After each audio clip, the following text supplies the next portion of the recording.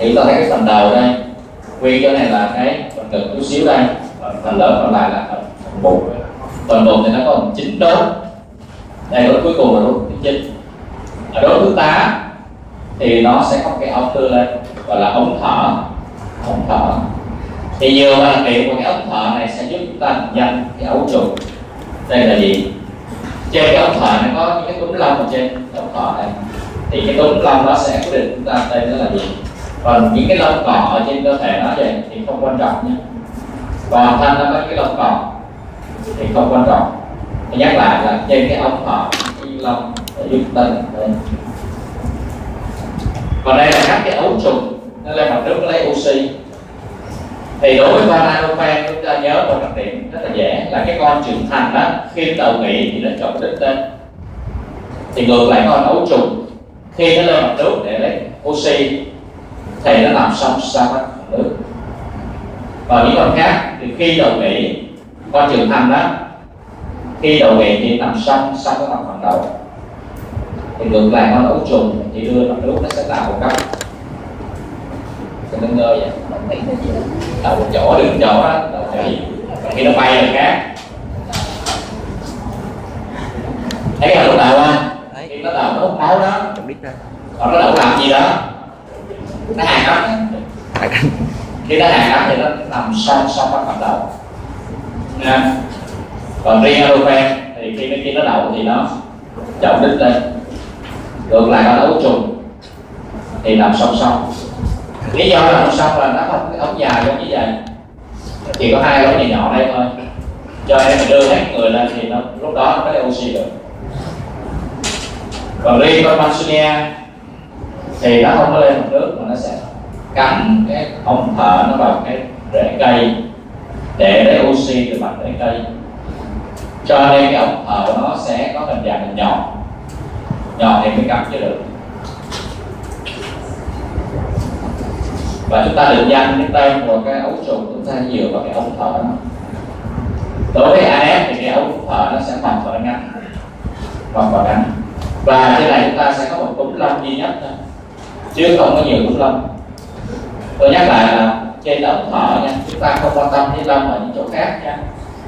Ở đây tôi thấy đối với cô lét có rất nhiều túm lâm trên ống thở này đây lỗ thứ chín nha chúng ta không quan tâm lỗ thứ chín luôn. Chúng ta quan tâm cái ống này. Thì lỗ cô lét thì nó thon dài và nó có nhiều túm lâm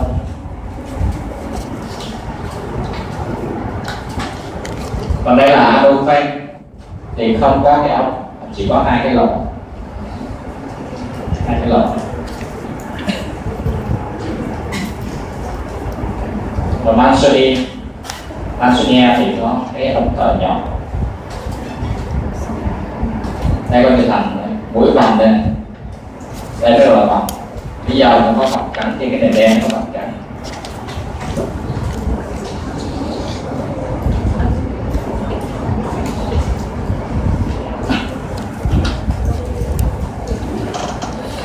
thấy vấn đề chưa thấy rồi ha nhìn cho biết liền ha đèn đen và trên đó có vòng trắng bây giờ đối với mũi thì chúng ta phải phân biệt được cái cái phân biệt được cái cái cái được cái cái cho sẽ được vào râu cưa ha cái khác cái hình vẽ này không vẽ nó râu đầy cho nhiều rất nhiều không đây đưa cưa cưa vậy là râu cưa rồi số bình hàm khi nó gần cái cái bò này xin lỗi ngay gần cái đầu này là ngắn cái cái bò đây đây là việc của con cái nhắc lại là chúng ta nhân cái tên nó trước, rồi nhân cái giống sau thì đó là hình con mũi còn sống còn tiêu bản sẽ không đẹp như vậy ha học sẽ học những con số xấu vậy nè.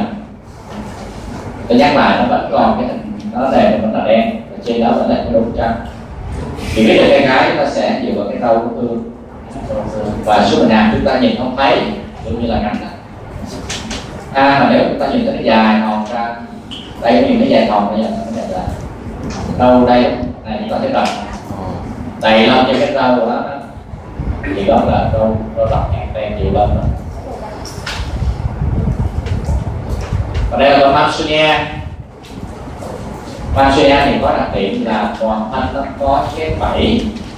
Cái vảy thì cái bẫy này giống như là chúng ta lấy bút tiêu ta rắc lên như người đó. Ta lấy bút tiêu ta rắc lên. Ta chúng ta thấy đặc biệt cái cánh cái cánh đối với con này chúng ta thấy cánh đó, ngoài cái gân cánh nó nặng hơn và những phần khác là nó cong đúng không? Ở đây ta thấy cánh sần sần sần sần hết lên ha. Chúng ta thấy chân nó sần sần lên toàn từ sần đó là điểm của con Mansonia. Định danh đường cá chúng ta cũng sẽ dựa vào râu tương và xuôi nằm ngắn của con cái. À, râu rậm và xuôi nằm dài. Đây ta thấy ha râu nó tương ve hoe thôi số nào để chúng ta từ cái phần đầu ra, chúng ta thấy hết là ngắn chúng ta lại phân biệt với cái chân cái chân nó xuất phát từ vùng ngực kia ra. Còn cái xuất nằm cái rau thì nó sẽ xuất phát từ đầu. Đây đầu vậy là đầu rồi? Sông hàm nó sẽ giảm này cái mất tiêu rồi.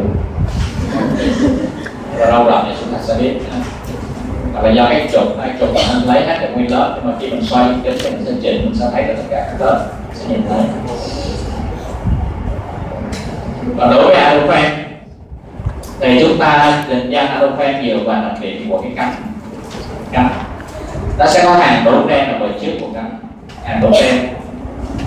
Bờ trước của cánh sẽ có một cái hàng đốm đen. Những cái cánh khác thì chúng ta thấy đó, như cái cánh của ADS thì là trong đồng thường của Mansunia thì giống như là có mũi tiêu rắc lên. Đều hai cái cánh luôn. Còn trong hợp này cái đốt nó chỉ khu trú ở bờ trước và phía trước thôi. Là quả Adopen đặc điểm có được được cái quả Adopen thì hơi khác một chút. Con được đó là đau rậm con cái đô thưa nhưng mà ở Adofen thì xúc quyền hàm đều dài ở cái cái và đực khác ở chỗ là con cái xúc cái nào sẽ nhọn ở phần đầu. Còn con đường thì sẽ phình ra là nha. Cho nên chúng ta sẽ phải định danh nó là con Ruben trước nhiều vào cái cánh này và sau đó mới định cái. Chứ đừng có nhìn vô thấy phần ở đầu này, chúng ta nói là Ruben đừng là không đúng nhá. Nhiều khi bé ai con khác cũng có phần ở đầu nhân tố với alofen cái thì chúng ta nhìn phần đầu không, chúng ta có thể biết nó là alofen cái. Lý do là những con mũi khác thì khi mà rô cơ sẽ đi kèm với lại số cái thằng ngắn. Riêng này, số làm dài thì chúng ta biết là alofen cái. Còn cái phần đầu là cái việc sai nha. Sai. Nhân tố nhất là đứa đi theo thứ tự và định danh nó là con gì sau đó tự hay là cái. Nhắc lại, đối với lại ADF thì là mũi bằng đối với Mansonia là giống như mũi tiêu rắc lên. Đối với Anofen là có hàng đốm đen. Ở cánh rồi nếu mà không phải ba con này thì cái con còn lại là con colet colet chân dài. Colet nha. Tất nhiên là trong cái này là trong bộ cái phòng học chúng ta trong vấn đề chúng ta học vi thi thôi. Và sau này chúng ta muốn đi thành nhà buổi học chúng ta phải học những chi tiết khác. Nhà buổi học. Thì ba cô lát thường nó sẽ có màu vàng vàng lần lần như vậy. Không có đặc biệt gì quan trọng. Chúng ta thấy nó không có phần à, không có vảy và không cần đốm đen được cái cắm gì hết phân biệt được cái thì tương tự như các giống mùi khác. Gọi là đầu cơ xuống mình làm ngắn là cái đầu rộng xuống mình dài là vậy đây là một cái cực đây. Đây râu cơ dài đây và xuống mình làm dài. Còn như đây là do nhộng nhộng nhộng thì hình giống như dấu hỏi vậy thôi. Và con này chúng ta không được gặp nhộng thì người ta hay gọi là gì nhỉ? Cung quan sắc mẹ nội là cung quan còn ấu trùng là là bọ gậy bọ gậy và do người dân mình đó là thấy có gì quay quay quay trong nước đó là nó lăng quăng thì lăng quăng là sẽ không phân biệt là kim quăng hay là bọ gậy gì hết nha. Gọi chung là lăng quăng đó ha. Có muốn giải la chút xíu không? Học luôn. Rồi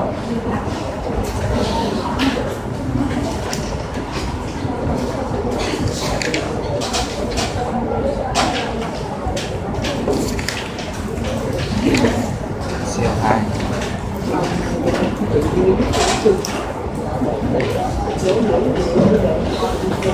đặc điểm sinh học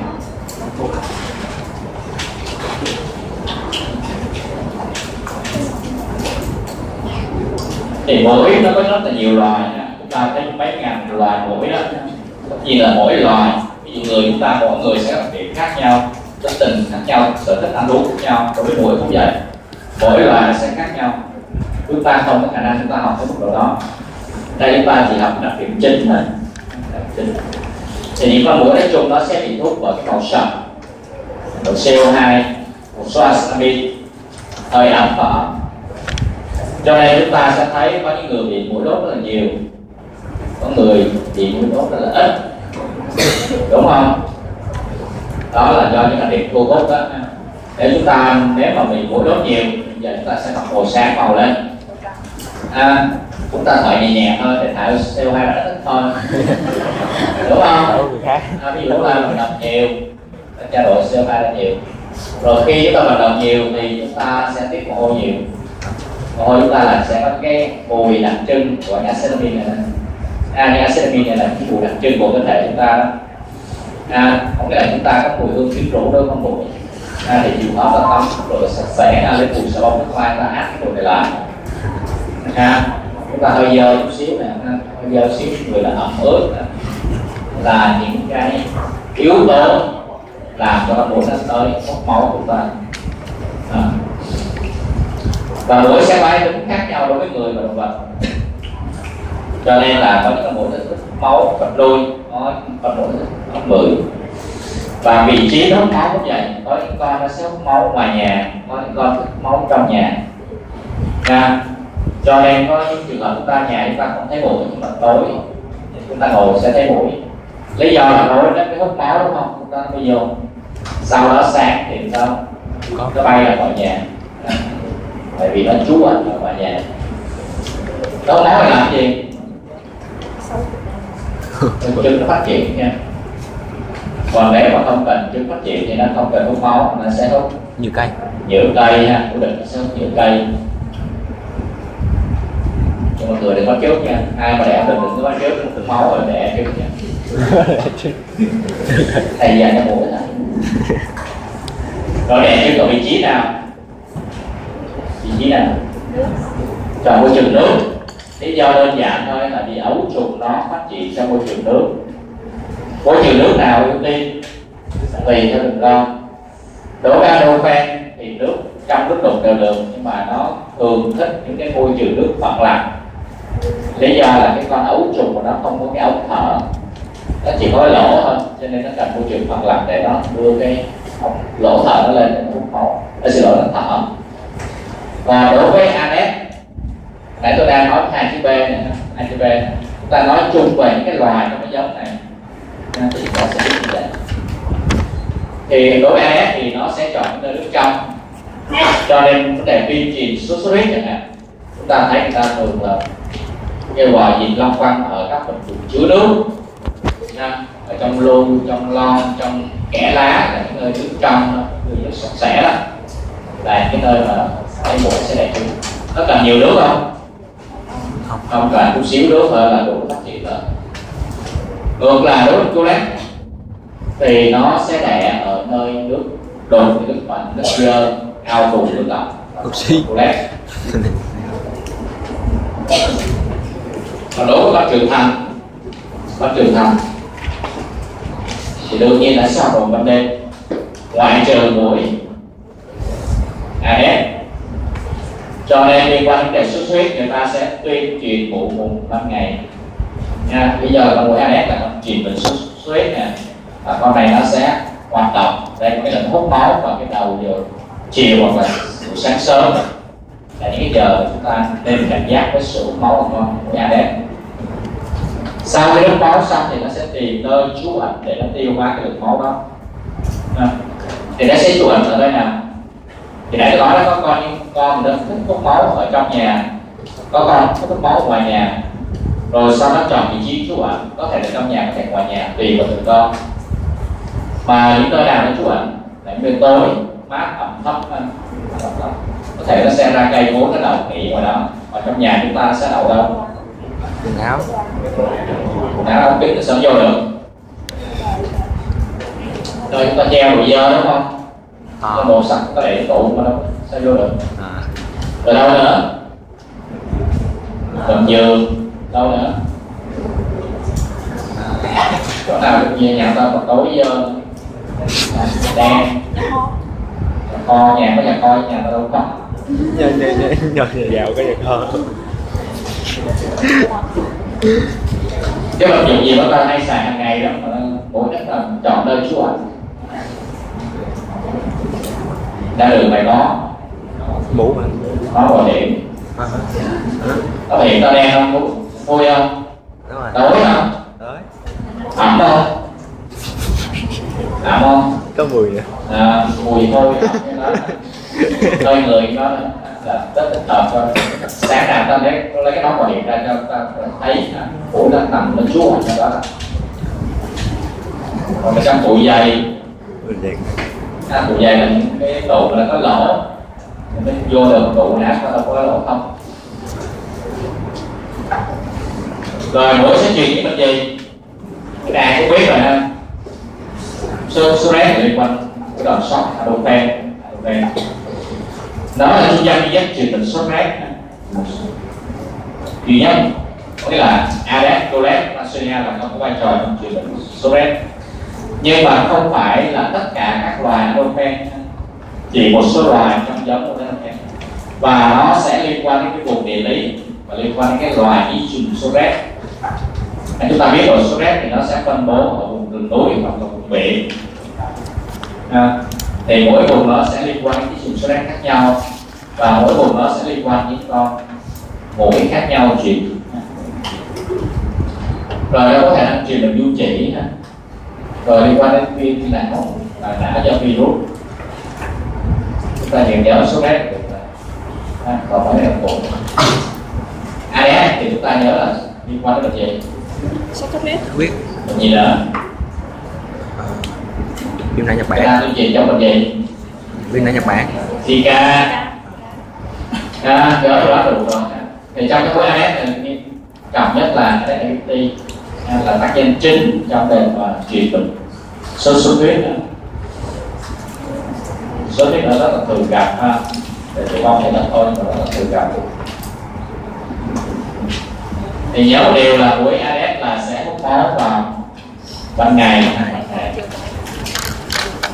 và liên quan đến chuyện sốt xuất huyết Zika số bệnh sốt vàng hay phi châu gì đó. Và cũng đang truyền du trị luôn. Nói chung là mỗi nào cũng năng truyền du trị. Nhưng muốn trị được bệnh thì phải. Có gì Hút máu. phải có mầm bệnh. À, mình ta biết là mầm bệnh du trị ta thì không nhiều. Sốt rét thì nhiều sốt huyết thì nhiều trị thì không nhiều. Cũng trị thì tập trung một số vùng vùng dịch thôi ha. Và mũi cô lét mũi mà chúng ta hay thấy nhà ta là con này.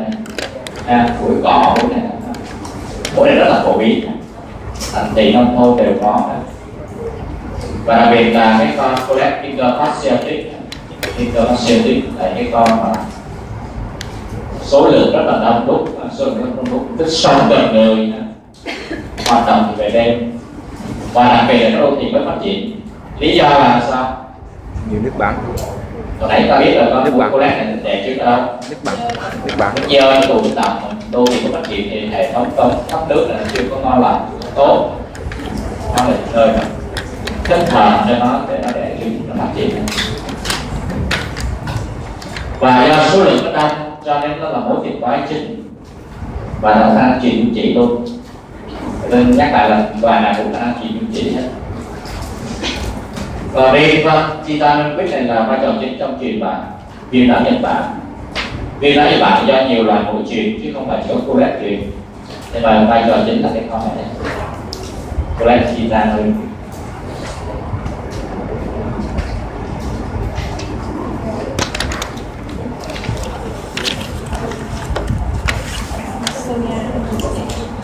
mũi Mansunia thì chủ yếu là có vai trò liên quan tới chỉ ở vùng rừng núi thôi.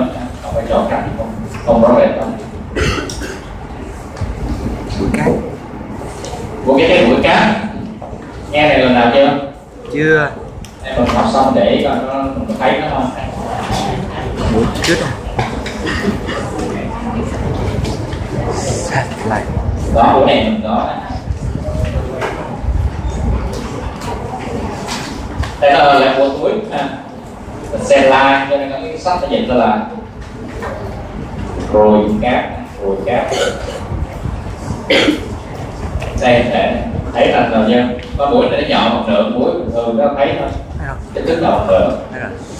À, cánh cũng dựng lên vậy đó. Lên nó gù. Cánh nó nhỏ nó dựng lên. Người nó phủ đầy lông tơ đầy lông tơ. Và cái này nhỏ nhưng mà nó có mỏ nha bay cho nên là nó hút máu ra nó làm cho ta rất là đau. Và nó làm cho nó chích hút máu ra tốc độ về đây có thể gây sốt luôn. Nha. Có là làm cho gì ứng tố cái cái nước bọt đó thực phẩm và nó có đang chịu một số bệnh này ha. Số bệnh này thì chưa thấy ở mình cho nên chúng ta cắt qua thôi cắt qua thôi. Đó là toàn bộ liên quan đến mũi dễ khó cái thức này mới là nãy giờ đâu gì mới đâu cái thức này cũng có đầu mình biết rồi. Đúng rồi.